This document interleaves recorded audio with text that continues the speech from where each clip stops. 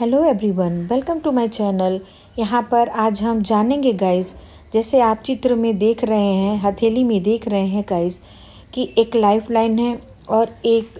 एक fate line है, भाग्य रेखा है, जो कि करतल से निकलती हुई सीधे शनि क्षेत्र पर चली जाती है।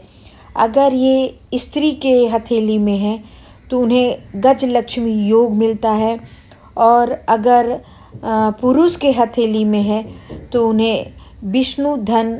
योग बनता है। यानी कहने का मतलब ये है कि अगर स्त्री के भी हथेली में बनता है तो गजलक्ष्मी का योग बनता है और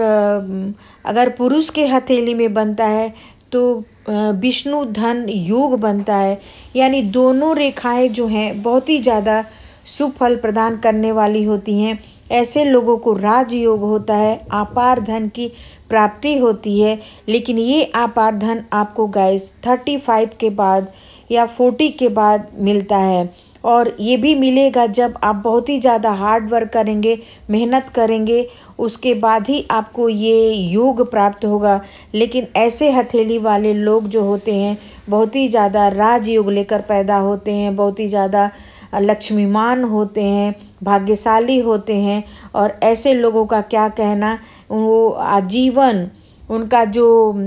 थर्टी फाइव के बाद का जीवन है, बहुत ही लग्जरियस बहुत ही ज़्यादा किंग एनर्जी में, बहुत ही ज़्यादा शुभ और बहुत ही ज़्यादा पावरफुल एनर्जी में रहते हैं थर्टी फाइव के बाद। यानी आपको बहुत ज़्यादा ऐश्वर्य प्राप्त होता है, धन, संपत्ति और साथ ही साथ आपके लाइफ में राजयोग होता है।